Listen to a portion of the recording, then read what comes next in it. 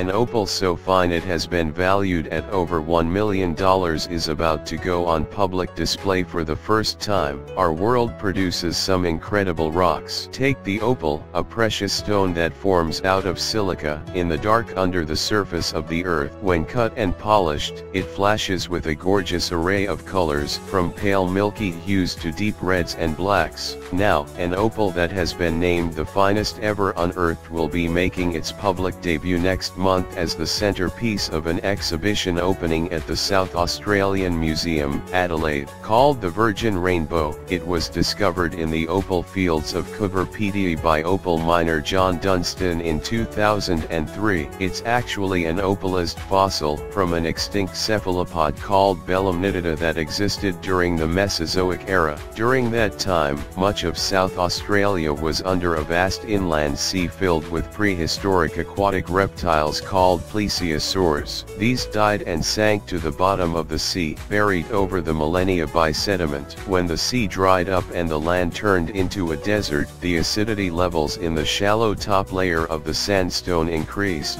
This released silica from weathering sandstone into the layer of clay beneath, where bones and pockets left by disintegrated bones lay buried, carried down via groundwater. Further weathering lowered the acidity levels, which allowed the silica gel to harden into opals in the pockets and impressions left by decayed animal material, like cake poured into a mold, or to soak into bones and create a replica of the internal structure. The famous Australian opal fields of Coober Pedy are located in this region. No other environment in the world is known to have undergone this same process, which is possibly why over 90% of the world's opals come from South Australia.